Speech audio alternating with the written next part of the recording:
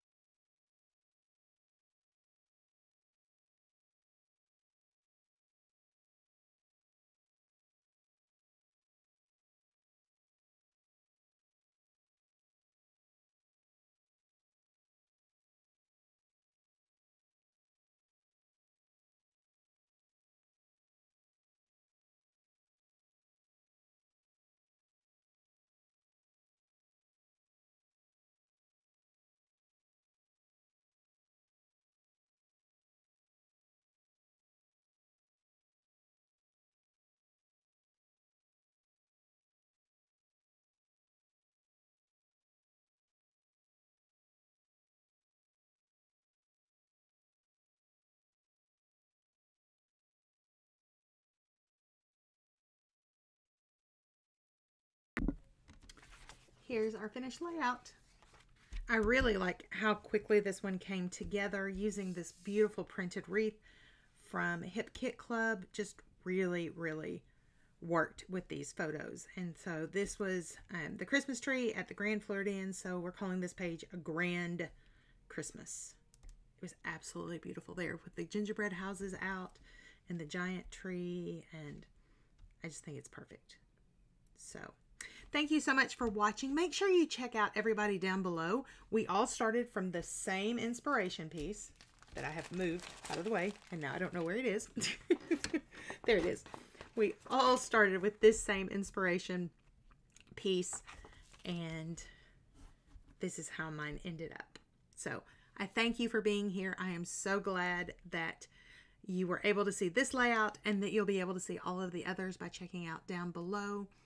So my friends, make sure you like and subscribe to the channel so you see everything that's coming out. Remember, I'm also on Instagram and Facebook, so not just here. You can find my stuff there as well. Lots of great information down below with links to where I find the things that I get. So until we're together again next time, my friends, go make some memories. Bye bye.